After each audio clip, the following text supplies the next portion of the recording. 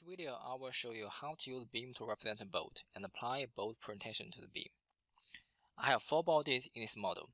Upper flange, lower flange, and gasket are solid bodies, and the line body is used to represent the bolt. The first step is to insert two fixed joints between the line body and the two flanges.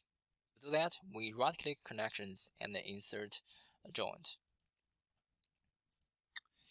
Here we scope the line body vertices for the reference geometry selection and flanges for the mobile geometry selections. So we select the upper vertex of the line body. And then we select the face of the upper flange. Now we have created a fixed joint between line body to the upper flange. We can do the same to the lower flange. Right click, joint, and insert another joint.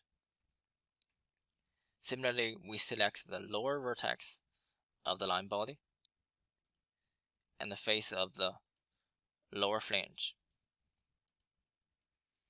Okay, now we are done with fixed joints. Second step is to insert uh, a bolt pretension. The procedure is essentially similar to inserting bolt pretension for solid body. We right-click static structural and insert a bolt pretension.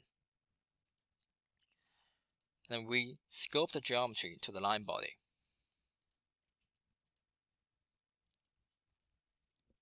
Now we set define by to load and set preload to 1500 pounds for the first load step. And then we set define by to lock for load step 2 and load step 3. Okay, now we are done with settings. We can solve this problem. After solving this model, we can review the results.